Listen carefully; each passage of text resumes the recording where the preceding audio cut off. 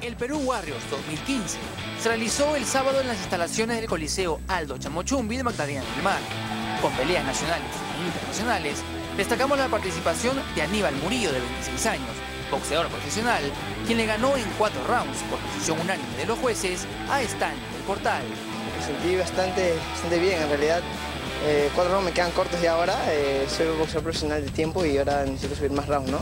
Pero pelear en otra categoría total que no es la mía, se siente también. Y es, es bueno, es bueno pelear así. ¿Qué decir del rival? No, el rival es un guerrero, como tú lo ves, o sea, un guerrero. neto. Yo, yo trabajé con él y, y peleando ahí me aguantó todo, así que guerrero neto. En este evento Warriors se puede decir que has cumplido tu, tu objetivo. Sí, eh, como ves, el evento Warrior siempre trae buenas peleas. Eh, el evento es grande, es, es muy bueno. Otra gran pelea de la noche fue la de John Abad, de Barranco Muay Thai, quien a pesar de haber sido retado, en tres rounds logró el primer lugar. Eh, salí a la pelea que- pensando que lo más importante es darlo todo. El resultado yo creo que es lo de menos. Lo importante es disfrutar el entrenamiento, disfrutar la pelea, darlo todo hasta el final.